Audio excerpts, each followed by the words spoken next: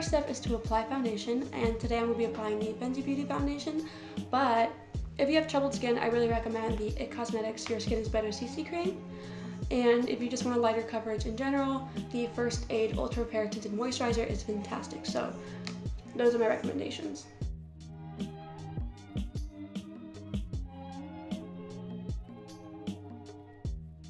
Next I'm applying some concealer and this is the Maybelline Fit Me concealer.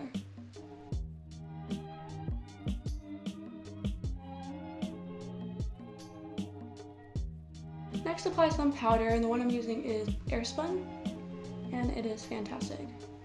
So I'm going to be taking the color Drive in the Tarteist palette and I'm going to be putting that all over my eyes.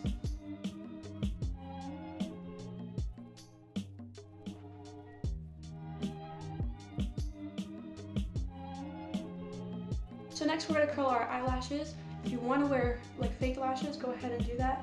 But I feel like this look is so natural looking. I really just recommend using your real lashes, what mama gave you.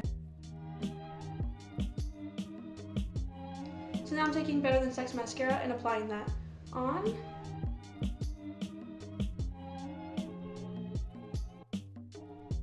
Now I'm going to be applying just a little bit of mascara on the outer corners of my bottom lashes. So not even all of my lashes.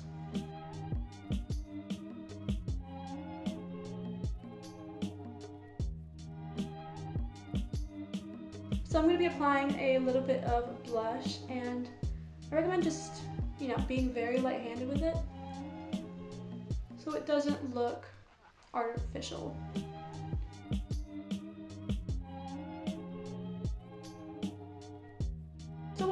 Be overdoing is the highlighter, so go crazy on it. I think a lot of highlighter looks fantastic with this look. Okay, put some in the inner corner. If you have very dark eyes, like I do. So for the eyebrows, I really recommend going as natural as possible.